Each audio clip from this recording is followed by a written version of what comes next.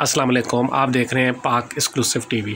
आज बबाए उर्दू मौलवी अब्दुल हक की इकसठवीं बरसी है, जो पूरे पाकिस्तान में ख़ास और ख़ास उर्दू यूनिवर्सिटी में इंतहाई अकीदत एहतराम से मनाई गई। इस मौके पर मुख्तलिफ़ वफदों ने उनकी कब्र पर फूलों की चादर चढ़ाई और फातह खानी की।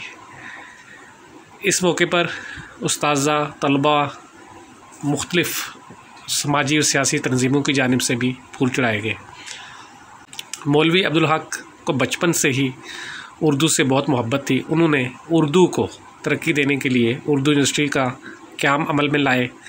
पहले ये कॉलेज बनाया उन्होंने। उस, उनके इंतकाल के तकरीबन पचास साल बाद परवेज़ मुशरफ ने एक आर्डिनेंस के ज़रिए इसको यूनिवर्सिटी का दर्जा दिया। और आज ये यूनिवर्सिटी है जहाँ पर हज़ारों बच्चे ज़ेर तालीम हैं और वो तालीम हासिल कर रहे हैं। इस मौके पर एक सेमिनार भी हुआ, जिसमें उर्दू यूनिवर्सिटी के अलावा मुख्तलिफ़ शोबों से तलक रखने वाले अफराद ने शिरकत की और मौलाना साहब के करदार और उनकी उर्दू के हवाले से हजमात को खराज तहसीन और खराज अकीदत पेश किया गया।